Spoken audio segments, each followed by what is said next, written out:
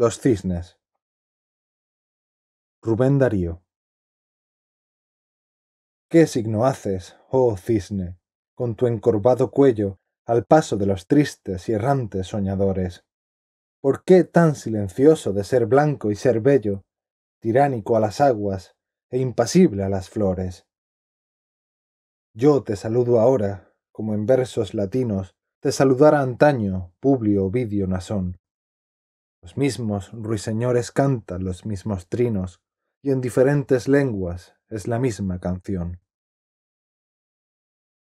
A vosotros mi lengua no debe ser extraña. A Garcilaso visteis, acaso, alguna vez. Soy un hijo de América, soy un nieto de España.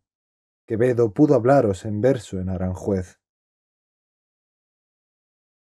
Cisnes, los abanicos de vuestras alas frescas den a las frentes pálidas sus caricias más puras, y alejen vuestras blancas figuras pintorescas de nuestras mentes tristes las ideas oscuras.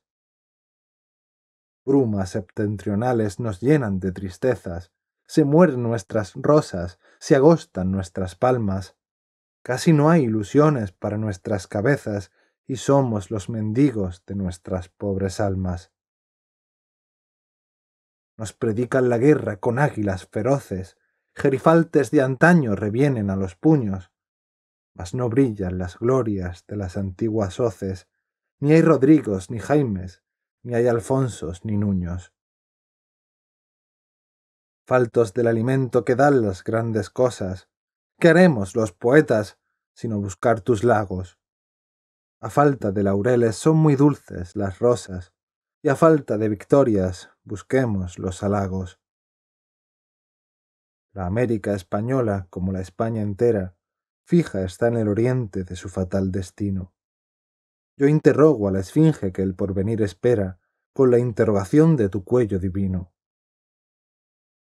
Seremos entregados a los bárbaros fieros, tantos millones de hombres hablaremos inglés. Ya no hay nobles hidalgos ni bravos caballeros, ¿Callaremos ahora para llorar después? He lanzado mi grito, cisnes, entre vosotros, que habéis sido los fieles en la desilusión, mientras siento una fuga de americanos potros y el estertor postrero de un caduco león. Y un cisne negro dijo, la noche anuncia el día, y uno blanco, la aurora es inmortal, la aurora es inmortal. Oh tierras de sol y de armonía, aún guarda la esperanza la caja de Pandora.